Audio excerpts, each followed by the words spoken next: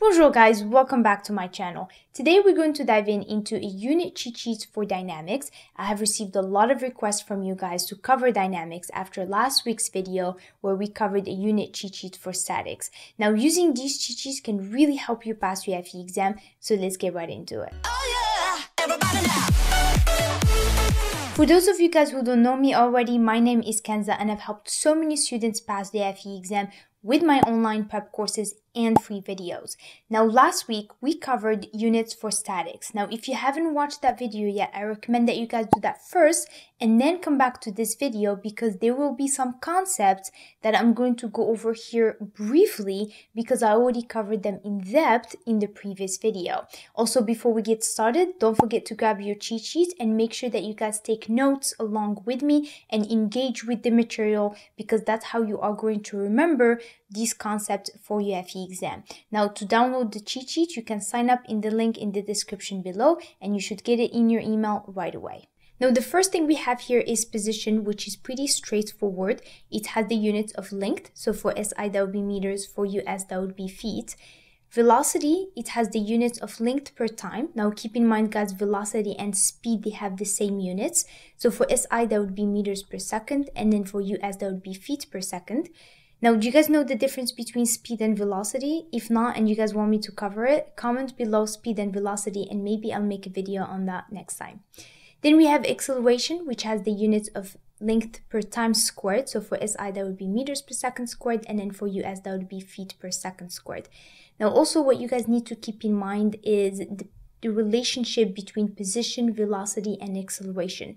Make sure that you guys know that if you are taking your FE exam or if you are taking a dynamics course. Now let's go over angular motion. So first we have angular position, which has the units of radians. So radians is the most common units for angular position. Now, you can also have angular position in terms of revolution or degrees, okay? Now these units here are a measure of an angle, which means they are going to be the same whether we are using SI units or US units. Now another thing to keep in mind guys is that when you are using angular motion, the most common units is usually radians, whether you're dealing with position, velocity, or acceleration. And so when you are using the angular equations, you have to make sure that every term in your equation has units of radians. And so if you are giving the position in terms of revolution or degrees, you got to make sure that you convert it to radians before you plug it into the equation. And so that's what we're going to do here. So I'm going to show you guys how to go from revolution or degrees to radians. So to go from revolution to radians, this is how I want you guys to think about it. What is revolution? Well, revolution is one rotation around the circle, right? So then the next question is how many radians do we have in one circle? 2 pi. So one revolution is actually equals to 2 pi. So now if let's say I give you 5 revolution, so it's going to be easy to convert. So this is how I usually like to do the units conversion, which I kind of showed you guys a little bit in the units cheat sheets for statics. So I like to write everything down. So here we're going to have revolution because we want to get rid of revolution. And then here we're going to have radians because that's the unit we want. Then we're going to be like, okay, so we have one revolution is equal to 2 pi radians. And this is how I usually like to convert the units. Now here we're going to have 5 times 2 pi radians. And keep in mind guys that here when you plug in this in your calculator make sure that you use pi which is 3.14 and don't use 180 degrees. Because pi could be either 3.14 or 180 degrees. But if you plug in 180 degrees you can have units of degrees. But we don't want that. We want units for radians. Now let's do the same thing with degrees to radians. So here I'm gonna have one degree and then here we also want to have degrees so that this degree cancels with this degree. And then here we're going to have radians, which is the unit we want. Now here we're going to also have 1 pi radians. And I guess the question now is, how many degrees do we have in 1 pi radians? And the answer is 180, right? We have 180 degrees in 1 pi radians. And so this is how we usually convert from degrees to radians. Now let's go over angular velocity. So the most common units for angular velocity is radians per second, but it can also be given in revolution per minute. So then the next thing now we're gonna do is make sure that you guys know how to convert from revolution per minute to radians per second. Because remember, when you are using the angular equation, if you have position and acceleration in radians, you have to make sure that your angular velocity is also in radians. So let's do that. Now to go from revolution per minute to radians per second, this is how I usually like to do it. So I'm going to do is write the whole unit down, which means I'm going to write one revolution per minute. This way I can see which units I need to convert. So for example, here, I'm going to need to convert revolution to radians, which we kind of already covered, and then we're going to convert minutes to seconds.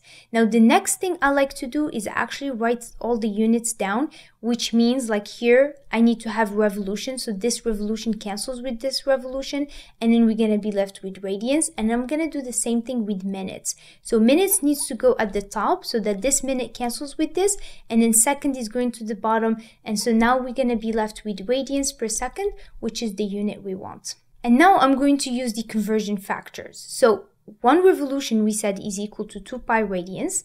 And then in one minute, we have 60 seconds. So to go from revolution per minute to radians per second, we usually multiply by 2 pi and then we divide by 60. Now the most common units for angular acceleration is radians per second squared. And remember guys, these units apply for SI and then also US units. Now before we continue, if you guys are enjoying this video, don't forget to like and subscribe to get more videos like this to help you with your FE preparation. Now let's go over work and energy. Now work is just force times distance and if we are using SI units, that would be Newton's meter. Now also keep in mind guys that Newton's meter is the same thing as joules. If we are using US units, work has the units of pound force foot. Now last week we went over the unit cheat sheets for statics and do you guys remember seeing this unit here, Newton's meter? Why don't you guys pause the video and try not to look at your notes and try to remember the variables that we covered and try to remember which of those variables has the units of Newton meter. Did you find it? Did you get it? It's moment, isn't it? Isn't it weird that moment and work has the same units? Does it mean that work and moment are the same thing? Well, Actually, guys, no, they're not. They just happen to have the same units. See, work is equal to force times distance, but the force has to be parallel to the distance, and we usually use dot product. Whereas moment, force is perpendicular to the distance, and we usually use cross product. So work and moment, they do have the same units, but they're actually not the same thing. Now let's go over kinetic energy. So what I'm going to do here is grab the equation of kinetic energy and derive the units. And we're going to start with SI units. So the equation is 1 half mv squared. Now 1 half I'm going to ignore it because it's just a constant and it doesn't really affect our units.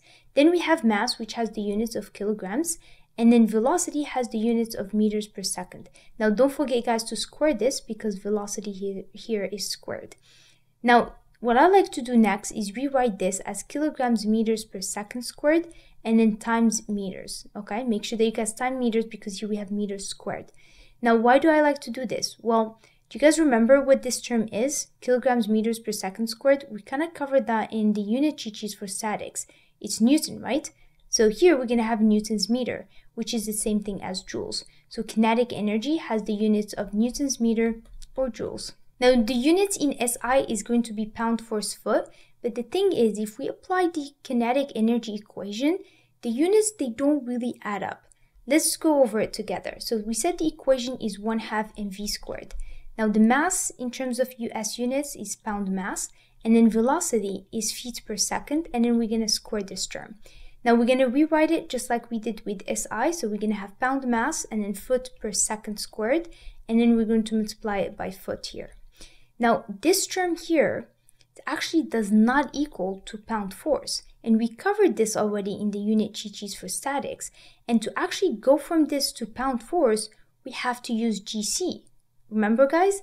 And GC is 32.2 pound mass and then foot over pound force second squared. Now, if we plug in this GC into this equation, the units are going to add up. Let's do it together. So we're gonna have pound mass and then we're gonna have foot per second squared. and then here we're to have foot. And then we're going to divide by GC, which is 32.2 pound mass, and then foot, and then divided by pound force, and then second squared. So now let's cancel the units. We have foot per second squared cancels with this, we have pound mass cancels with this, and then we're to be left with pound force foot. So then the equation, it's really not this. When we are dealing with US units, the equation for kinetic energy is actually 1 half mv squared over gc. Make sure that you guys add this to your notes and make sure that you remember it for your FE exam. Now, if you guys want to see an example where we calculate kinetic energy, go ahead and comment kinetic energy below. Next, we have is potential energy. Potential energy includes gravitational energy and elastic energy. Now, these have the units of joules, for SI and for US that would be pound force foot. Now keep in mind guys here that energy and work they have the same units. Also, what I want you guys to do is go to the reference handbook under dynamics, grab the equation for gravitational and elastic energy, and try to derive the units from the equations just like we did with kinetic energy. And be careful when you are dealing with US units. Now, once you do it, if you're not sure of your answer and you want to check it, just comment potential energy below and I'll make a quick video on it so that way you guys can check your answers. Now let's go over power. What is power? Well, Power is actually the rate at which work is done, which means it's going to be work over time. Now, the units of work in terms of SI, we said is joules, and then it's going to be per second, and joules per second is also known as watt. Now, for US, well, it's a little bit tricky, of course, right? So here's what we're going to do. We're going to apply the power equation and then see what we get. So we said the work or units for work using US is pound force foot okay? And we're going to divide it by second. Now, the most common units for power is actually horsepower when we are dealing with US units. The thing is, pound force foot per second does not equal to horsepower. So to go from this to horsepower, we actually have to divide by 550. So in the FE exam, if you are asked to give power in terms of horsepower, don't forget to divide by 550 because one horsepower is actually equals to 550 pound force foot per second. So make sure that you guys add this to your cheat sheet and review it before your FE exam. Now another thing guys to keep in mind is that we can also calculate power using force times velocity. Because if we do that, we said that the units of force is Newton and velocity is meters per second. We also said that Newton's meter is the same thing as joules and joules per second is the same thing as watt, which is the units of power, okay? All right, let's move on to impulse. So impulse is force times time. So that's going to be Newton's second when using SI and then for US that would be pound force second. Now momentum is just mass times velocity. So in SI that would be kilograms meters per second. For US that would be pound mass and then feet per second. Now, when you guys are dealing with momentum problems, you have to be careful because sometimes you might be giving the weight and when you are using the momentum equations, you have to use mass. So you're going to have to convert from weight to mass, which we already covered in the unit cheat sheets for static. So make sure that you guys go over that. And then also, if you guys want to see a momentum example, go ahead and comment momentum below. Now let's go over period. So period is the time that it takes for an object to make one complete cycle and it's time per cycle. So the units would be seconds per cycle, but since cycle is dimensionless, we just don't include it. So it would be seconds, minutes, hours, days, and so on. And for US, it would be the same thing. Now, frequency is actually the inverse of period. So it would be cycle per time.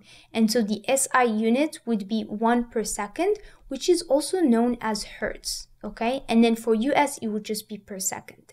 And then lastly, we have mass moment of inertia, which is mass length squared. So in SI units would be kilograms meters squared. And then for US, it would be pound mass and then feet squared. Now let's talk about options for future videos. I did mention a lot of ideas, so let's go over them.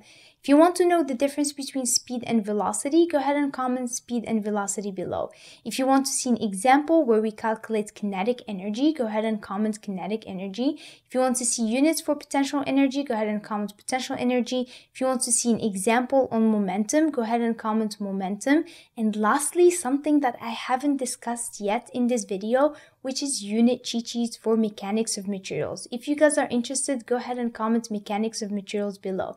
If you want to see all of these videos, go ahead and comment all below and the idea that gets most comments will win. If you're currently studying for your FE exam or you're planning to start studying for the FE, make sure that you guys enroll in our free masterclass today and learn the exact three steps to pass your FE exam. Now, while you guys wait for the next video, make sure that you guys check out these two videos that I have here as well, which will help you with your FE preparation. Now, thank you guys for watching. I hope you guys have a great week and I will see you on the next video. À la prochaine. Oh yeah, yeah.